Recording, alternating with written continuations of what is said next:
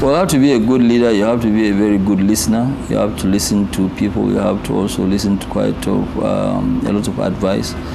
You have to make sure that it is not what you tell people to do. You have to, you know, crack your brains and have quite a lot of uh, uh, what you call advice from your own uh, team. You know, it has to be a teamwork because there's no way you can make it as a person without a good team. And you must be consistent. When you try a business and you start, you might have hiccups here and there, but it does not mean that that business is not going to work. There must be challenges.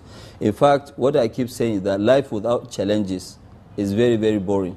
So if you have challenges, you just have to know how to work out or how to work around these challenges, and you will be successful once you are consistent. What business doesn't like is for you to try something and then once you have one or two problems, now you want to change and move into another business. That doesn't work in business at all. The way that the data is, you know, uh, you need to have a lot of information at your fingertips so that it will allow you to make decisions and, uh, you know, to also take the right, you know, decisions. Uh, what uh, I was doing five years ago, if I try to do them without the uh, automation that we have today, it's just not going to happen at all. Well, the problem with the, some of our younger generation today, they just want to jump and see themselves up there, you know, overnight. Uh, it doesn't really happen. What you need to do is to be very, very focused as a person and be dedicated to whatever that you are doing. It is not really good for you to now go and try something, then after a month you just say, no, it doesn't work. You jump into uh, something else. Else. I think you need to be very, very focused in what you are doing. Once you believe in what you are doing, you see, you should not take your either business or job as something that you must do.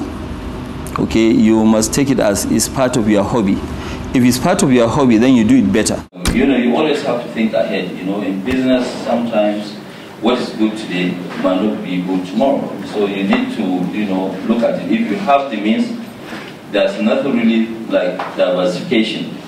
You know, sometimes you do quite a lot of diversification, I mean, diversification, and then you consolidate before you move forward. You cannot just keep expanding, expanding, because sometimes when you over-expand, it can cause a lot of uh, crisis also. So you need at least once in a while to consolidate and, uh, you know, go on.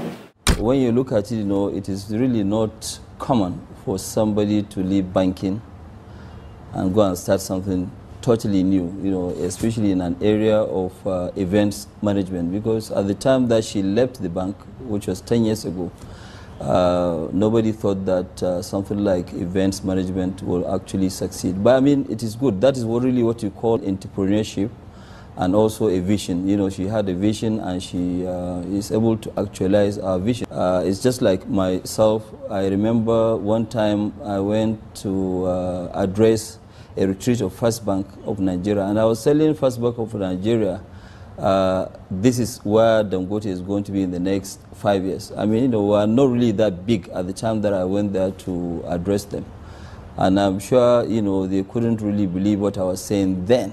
But I remember uh, at a point, the MD said that, well, you know, they are really shocked at how we actually been able to make it and also actualize our vision.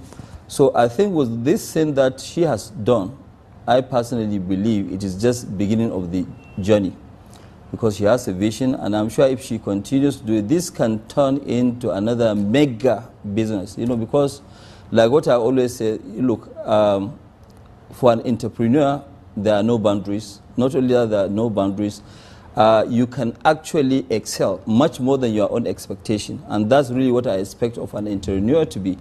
Not to just say, okay, fine, I have a vision and only achieve that your vision. You need to have a vision and a mission so that you can actually actualize it and also excel. I mean, I had somebody uh, who came to interview me one time and I told him that, yes, you know, three, four, five years ago, I never ever expected myself to be on the Forbes list. But right now, the vision that I have and also my own mission is actually to be on top of the line, not even where I am today. And that's really how, uh, you know, a visionary person should be. Hard work. I believe that, you know, we're very focused, we're a very focused company. We don't really go into things that we don't understand. You know, any business that I don't uh, understand it well, I don't do it at all. And that's really why, you know, uh, why we are successful. To be an entrepreneur and also to be a visionary person, you have to actually be very, very bold. Uh, you have to be ready to take calculated risk, not just any risk. You have to take a calculated risk, and you have to think big. If you think small, you always remain small in life. The way that we operate as a company, you know, especially in Dangote, is like what I said, we have, we have a vision.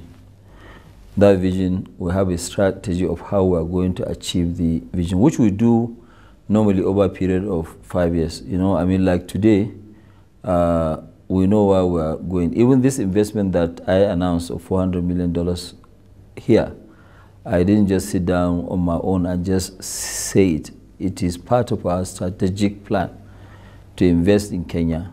I mean, to be serious, if you want to be the next Dangote, is that uh, you have to have a very big heart. You have to take quite a lot of risk, calculated risk. First of all, you have to make sure that you are honest.